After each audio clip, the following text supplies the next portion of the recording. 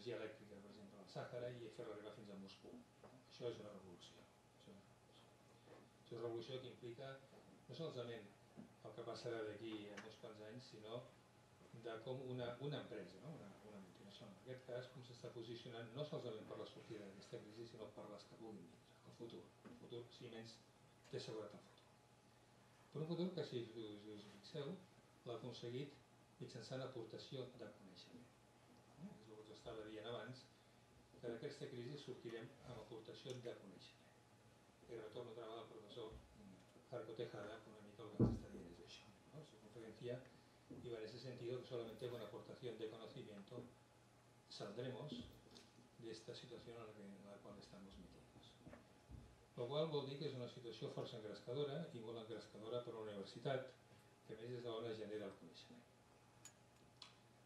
Aleshores, aquí ens fem una, una pregunta, no? Fins quin punt estem posicionats per la sortida d'aquest coneixement? I aquí he anat recollint diferents estadístiques de diferents anys, els he intentat posar en un cert ordre per veure realment si Espanya, si nosaltres estem o en quina posició estem i quins esforços tenim que fer i quines metes tenim que fer, quines fronteres ens tenim que marcar per aconseguir realment sortir-ne mitjanament bé d'aquesta crisi que es té que entendre com un canvi, no tant com una crisi sinó com un, un gran canvi que implicarà el que pugui passar d'aquí a 15 o 20 anys com Primer que tot, com sempre, i sense que sigui el típic acudit d'un espanyol, un francès o no sé què, això és seriós, eh? tenim aquí la primera enquesta, des d'aquesta d'aquí, per estadística, perdó, de l'any 2007, és difícil a vegades recollir números i que tots vagin pel mateixos països, del número d'estudiants d'educació superior que hi ha a Espanya, Països Baixos, França i Alemanya. I veiem amb sorpresa que realment tenim molts estudiants. O sigui, Espanya no és un país deficitari en número d'estudiants, el que sí, després si això ho comparem, això comparem realment la despesa pública en l'educació superior, i quan parlem d'educació superior parlem de cicles universitaris i FP3, eh? tot el que s'entén per l'educació superior. Però veiem que, com sempre, com és intuïtiu, la despesa que dediquem sobre el producte interior brut és inferior a d'altres països.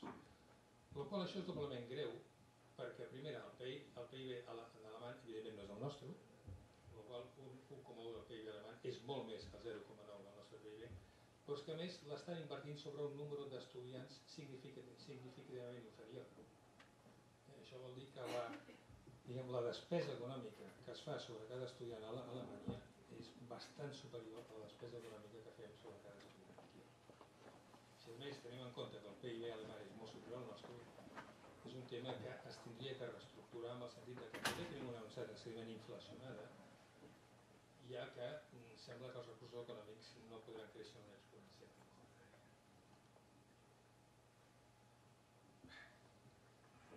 Si després passem al número de, de recercaires, i aquí és el sentit on anava diguem, la meva intervenció, aquí aquestes barres que veieu significa el total de recercaires per realitats, dels quals la part inferior, el 1,3, correspondria a la recerca universitària, el 2,8 a la suma de la recerca universitària més la recerca que es fa amb el teixit productiu.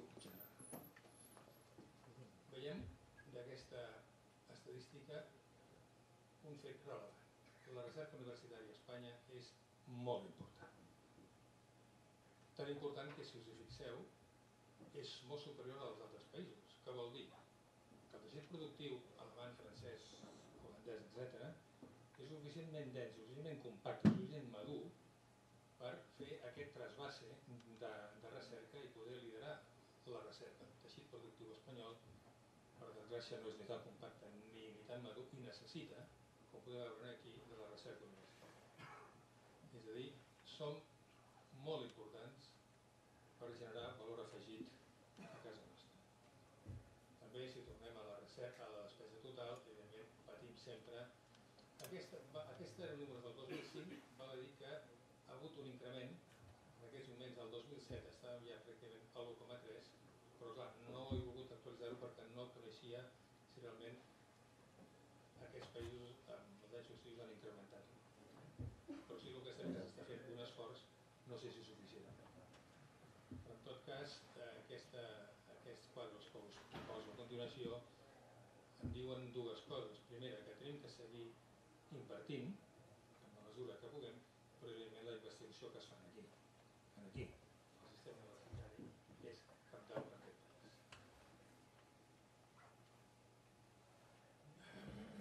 Si ara anem a lo que toca ja a casa nostra directament, he agafat diguem, tres districtes universitaris potents, el de Madrid, el del País Valencià i el, i el de Catalunya.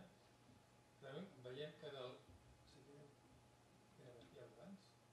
No. Com, com es tira? Era aquest? Tècnic informàtic no. no? Ara.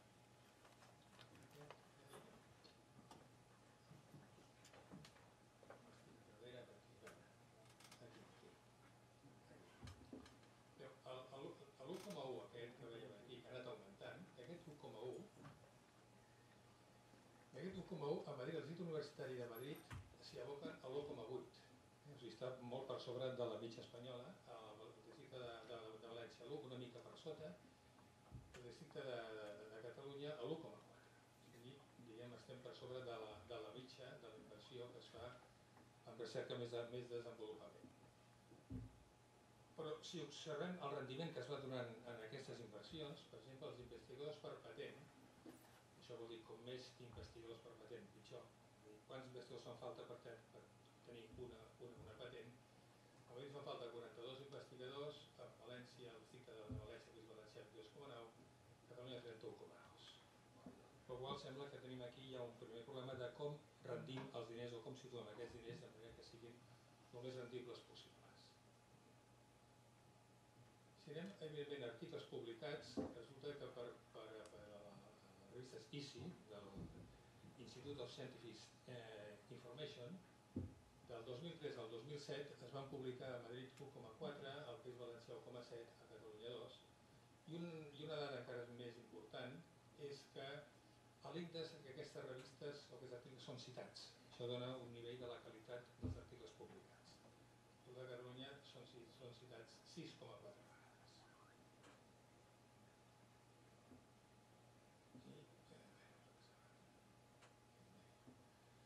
I, eh, I per, per acabar, però no vull agobiar amb, amb més dades, perquè les dades sempre tenen que saber digerir, la contribució total als ingressos liquidats de, de, de recerca per diferents universitats. Això, convenis, recerca al nostre criteri, convenis entre empreses, projectes competitius, etc. No? El 20,%